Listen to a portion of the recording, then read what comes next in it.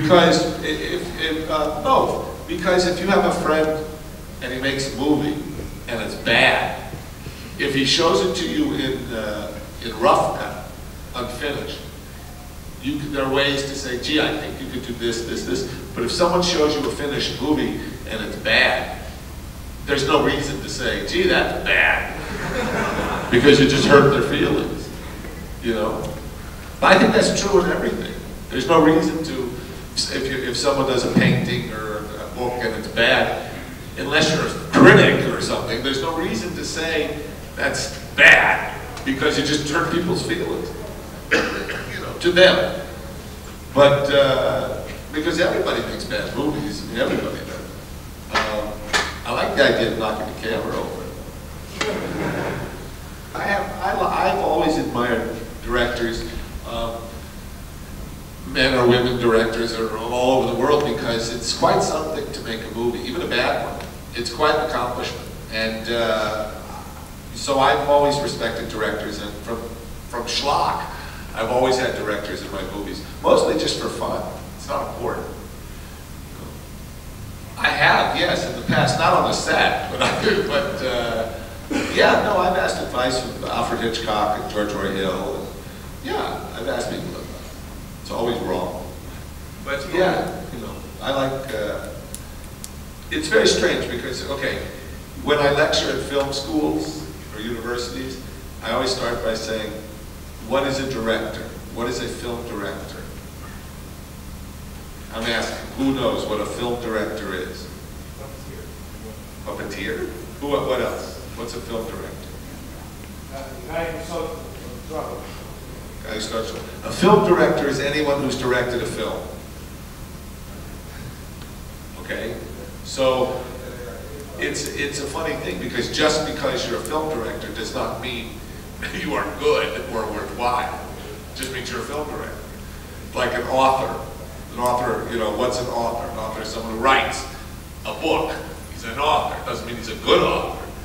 You know, it's just, uh, I just, because filmmaking is so full of logistical nightmares and equipment, technical problems and cable, you know, movies are made with this shit, you know, and uh, it's just so many things can go wrong that it's, it's impressive when anyone makes a movie.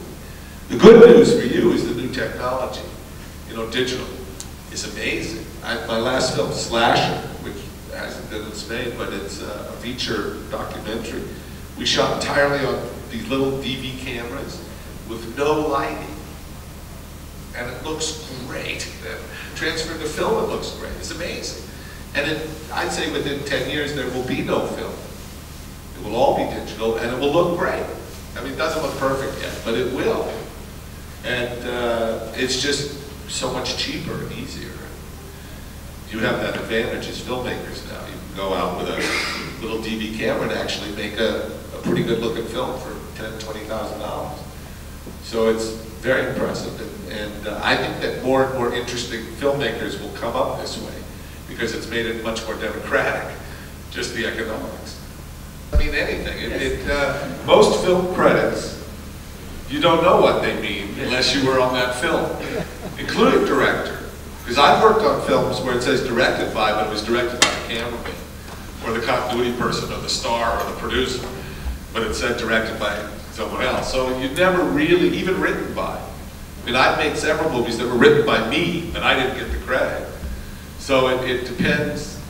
Uh, uh, traditionally, traditionally, a producer meant the person who handled all the financial aspects of a movie.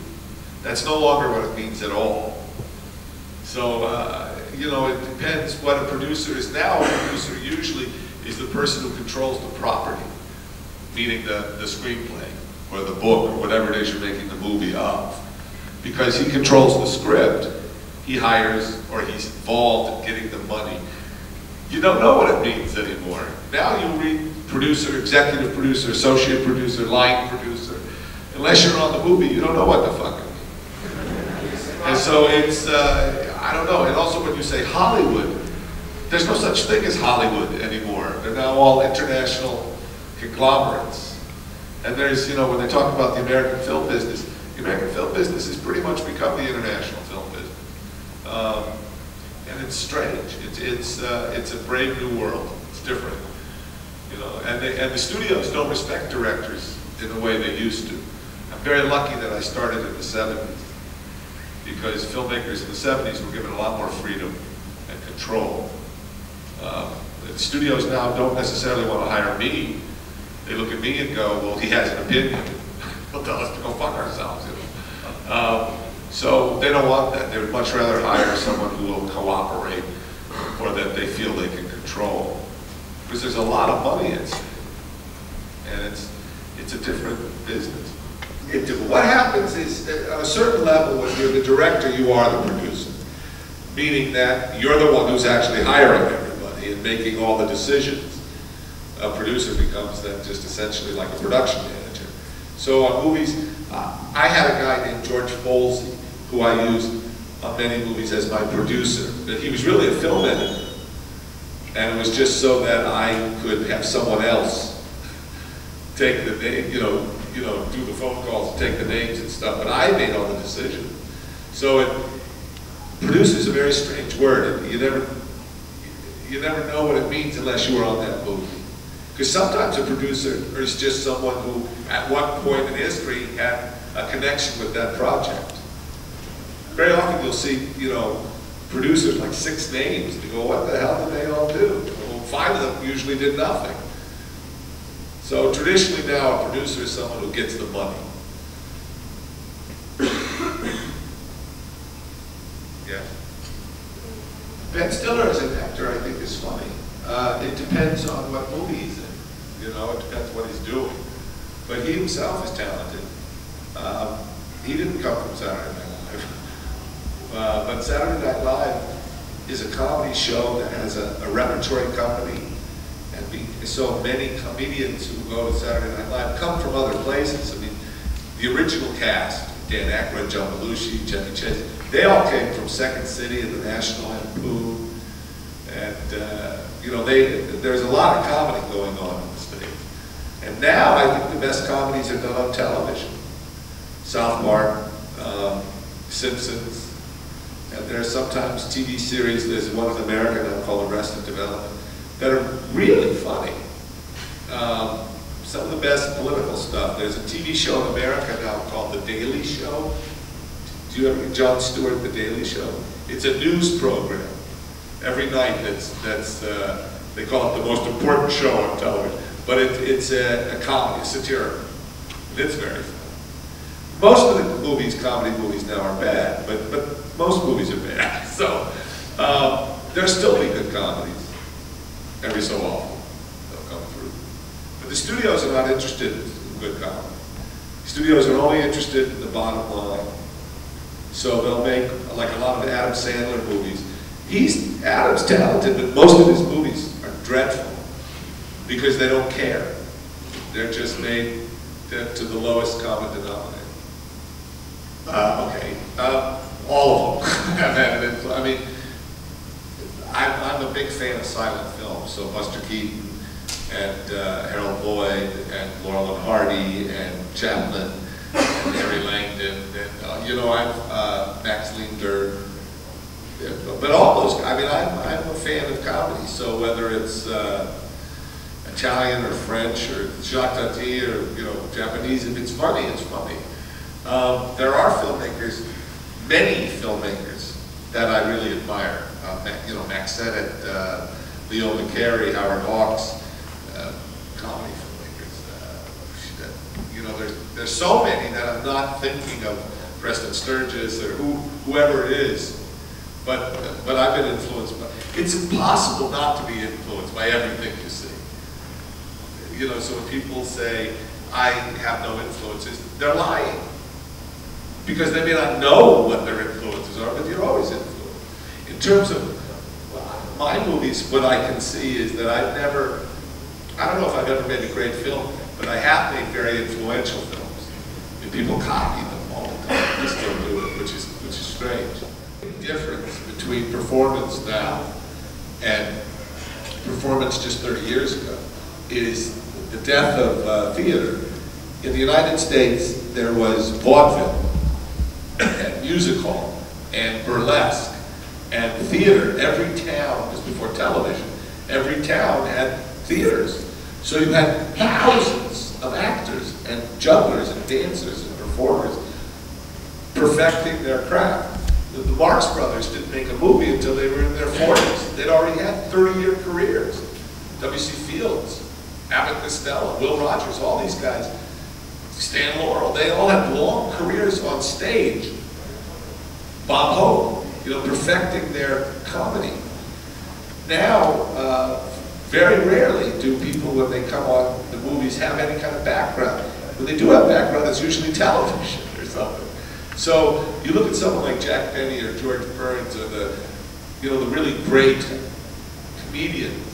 They had 50 years of experience, you know, in front of audiences. Now you have kids, you know, 19, 20, 21 years old that no, have no chop, what, what I call chops. It's a, a word meaning chops that you know you. Trumpet horn players have chops, meaning they, they know how to play, they know how to blow. It's just experience. And when you make a movie now, very often you're dealing with actors who have no experience. And that's strange and different. And I have, I have had the unique experience. I'm, I'm sorry, I was born in 1950, so I grew up with movies. And you too, most of you people, you know, you were, you were alive with television and movies. You grew up that way. The people who came before us invented it. Movies are only 100 years old. They're brand new. So I work with people like George Folsey and uh, so many people who, were, who invented the language. You know, really invented the language. We just reinterpret.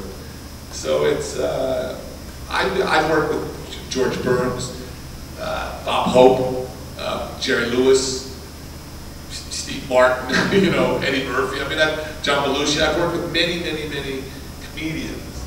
And the, the older ones always have more, more chops. They're always sharper. Uh, they're people with great talent, uh, but they depend on their director. Um, if you look at the older actors, someone like Gene Hackman is always good. No matter how bad the movie is, he's always good. But most actors now really depend on their directors and the movies, whether they're good or not. And that's the difference in skill. If you ever watch the old stars like Jimmy Cagney, James Cagney is always good. Edward G. Robinson is always good. Charles Boyer is always good. You know, I mean, it, it, it's not, it's different. It's a different skill. And uh, people say, how do I work with actors? Every actor is different, so I work with every actor differently. Some people you just say louder, softer, you know. Some people you have to really manipulate and trick be a puppeteer. I don't like doing that, but I do that. I'll do whatever, I'll be mean, or I'll be nice, you know, and I'll be like the son they never had, or their lover, I'll be whatever it fucking takes to get the piece of film, and then I can make a performance. But it's much better when you have someone who delivers you the performance, who comes in and you get a performance. And that's unusual. Now, visionary is the word, but influential. yes. Um, American Werewolf in London is, a, is not a comedy. It's a horror film. And it bothers me when people call it a comedy. It is fun, and it's meant to be fun. But uh, those two boys show up in a truckload of sheep, you know, and they're dead. they, go to the slaughter land. It's not subtle. You know, it's a tragic, they're dead. Uh, but it's funny because I was trying to treat it realistically. And the supernatural basic premise is ridiculous. Man turns into a wolf in full moon is ridiculous. Um, it's like religion. The basic premise of most religions are incredibly stupid. So you, you, you know, you try to make it real. Um, and how do you do that? Well, when I thought about it, most people of a certain economic level and sophistication and education know that werewolves don't exist. So when confronted with a werewolf, they have no defense. If you, if you are, it's very easy. See, that's the thing. As Mark Twain said, it's pretty easy to be stupid. It's always a problem to be smart. Because smart people always can see different aspects of things. Um, stupid people don't have to. So if you're like an ignorant peasant, you, you know, you, you see werewolves, well, you know what werewolves are. They're out there and they're gonna kill you. But smart people know that's not true. So if the werewolf is there, how do you deal with it? And it's funny. I mean, it's basically a funny idea, like vampires. It's a funny idea. You know, and uh, again, I said this yesterday, but to me, one of the great horror films of all time is The Exorcist, because I do not believe in Satan, and I do not believe as Christ is the Messiah, and I don't buy any of it. I think it's completely absurd. But when I saw that movie, for that time I was in the theater, William Friedkin made me believe in the evil of, of Satan and the power of Christ, and totally bought it. As soon as I left the theater, it went away, but, but, but I totally bought it for the movie. And that's the power of film, to convince you of something that isn't true, you know, to make it true. So for, for people who had a, a Catholic or religious background, that movie was even stronger because it was so smart. You know the thing they show in front where all these people are talking about President Bush, and then it says, you know, the Fantasy Film Festival and some things you can't explain. That's perfectly ironic, and it's very much like American Werewolf, because in fact, he is president. What's happening is terribly horrific. People are being murdered and killed. I mean, it's like, beyond- it's, it, and how do we react to it? With disbelief. How is this happening? So we react, everyone laughs in the theater. Is it funny? No! But we laugh. That's our defense. Well, One of the things that American Werewolf did that was bad was now it's normal to make horror films funny. And very often, I think what it does is it, it, it undercuts, they don't understand why Werewolf was funny. Werewolf was funny because it was serious. So they're being funny to try to be funny. So a lot of these films, the self, what are called uh, deconstructionist or self-referential films, like Scream and stuff. I thought the opening of Scream, the first 10 minutes was great. And then the rest of it, I thought, ah, this is stupid. I mean, it was a comedy. It just wasn't real. It didn't. There was no realism. And then all the screams after, there's no realism to it at all. It's like the Jason movies. With Friday the 13th, that's not scary. That's stupid. You know, I mean, I, you know, to make a scary movie like Halloween is scary. The first one, really scary. You know, and uh, Texas Chainsaw Massacre, brilliant, really terrifying. And Psycho, I still think is, is, is a great film. And what's interesting is that, you know why those films are so scary? Because there's no supernatural. There's no, in, in Texas Chainsaw or Psycho or Halloween, there's no supernatural. Those are people killing people. And people are crazy. And people do kill people. That's why those are so frightening. I don't think it's hard to make a, a person with an axe scary because people with axes kill people all the time. To make a ghost or something, a dragon or, or something that doesn't exist, to make that scary is, uh, is the challenge. I didn't think that was scary. It was not scary. It was just boom, you know, and boom is not scary. I can do that. Anyone can do that. Um, a scary movie is one that, like, uh, like, you know, I think it's a brilliant film, Evil Dead. Sam's movie Evil Dead because it's really scary and it's really funny. That's really hard, you know. When he, when he went Evil Dead 2, stopped being scary, just became comedy. You know, that was fine. And like Peter Jackson's uh, Brain Dead, or, you know, that's not scary, but it's funny. You know, those are just comedy. But every so often someone makes a really scary movie. And uh, I was very disappointed when I saw Blair Witch. I thought, this isn't scary.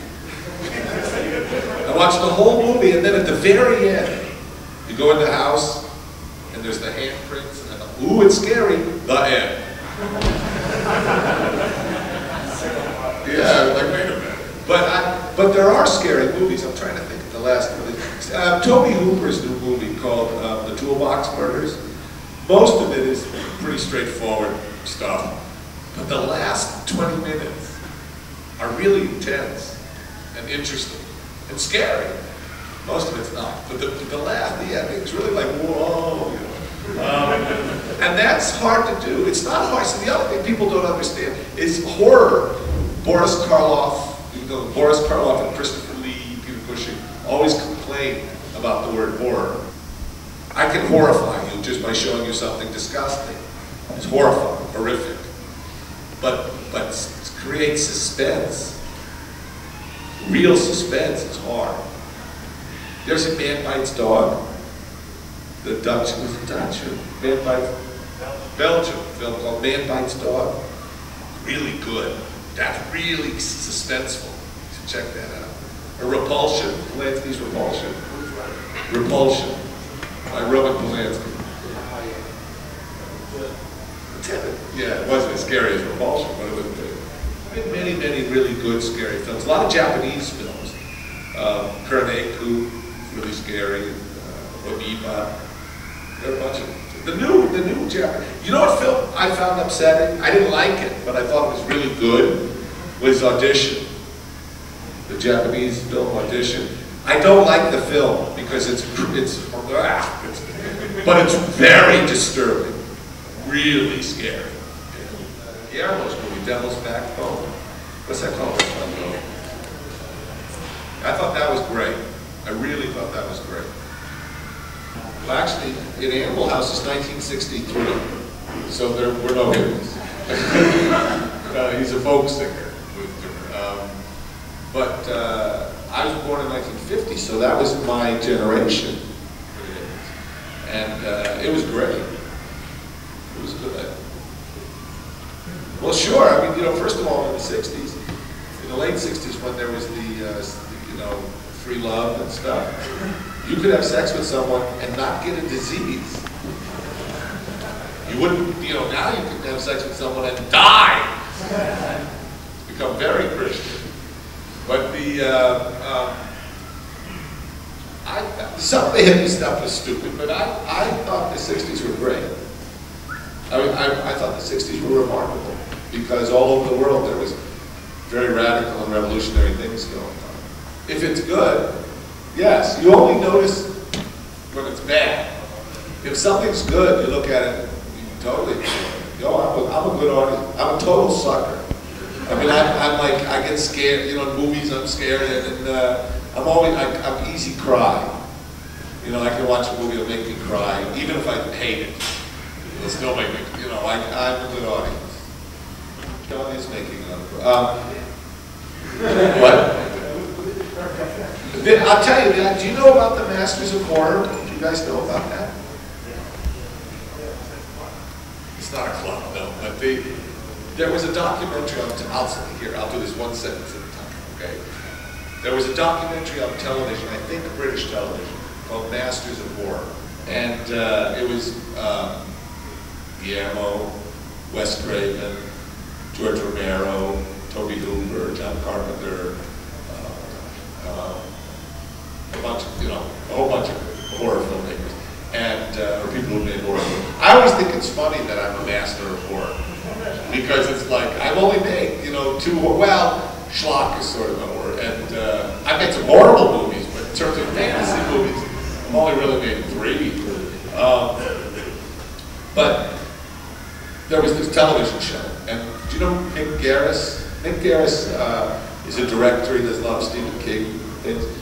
Mick had a dinner in the valley, San Fernando Valley in LA. He had a big dinner where he invited all the masters of horror. So we all, it was like a bunch of guys. We all went to this dinner. And uh, I'm trying to think, David Cronenberg, a whole bunch of guys. And so we went to dinner and we really had, and we really had fun.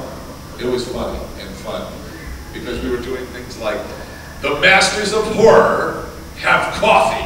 the delivery was different. The masters of horror. See? And it was like, the masters of horror ordered dessert.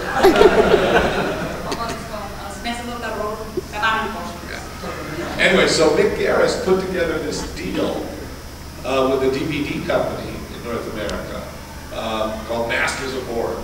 And all of us are making these one hour, mine I shoot in February, is one hour uh, horrible, one-hour uh, scary, whatever we want. We have a million and a half dollars to shoot in Vancouver for each of us to make a one-hour horror show. And John Carpenter's doing one, and I'm doing one, and uh, Guillermo's doing one, it's, uh, who else? Uh, Everybody, I mean, Tobe Hooper, everybody, and it's very fun. We're having Japanese and uh, some European directors, and it, it's, uh, it's gonna be, some of them will be great, some of them will be terrible, but it'll be really fun. So John is definitely doing one of those. This DVD company puts up the money and they get the North American DVD rights. And then the international, they can sell the international DVD rights. But we, the masters of horror, own everything else. So it might be theatrical, we might put like three, three or four together, make a movie, or it might be uh, cable TV, or whatever we do, it'll, it'll have more than one market. And, and also what's fun is there's no censorship, we can do whatever we want. So I think they're gonna be pretty outrageous. Edward Scissorhands, you know, the Johnny Depp, Tim Burton. Do you know that movie lost money? So the people who put up the money lost their money. It wasn't until uh, Tim made, uh, what did he make them such a big hit? Uh, Beetlejuice. You know, then, then he could make, you know, but if he keeps making Planet of the Apes, it's not gonna happen. You know, it's all based on their strength. I could only make Animal House because of Kentucky Fried. And I could only make Blues Brothers because of Animal House. And I wrote An American Werewolf in London in 1969, and I made it in 1980. Script was the same. It was just, I could get the money. So it's all about finance and money. The movie business, and I'll say this, is, is the movie business is terrible. And it's filled with terrible people. But the product is great. So we're done. Thank you very much.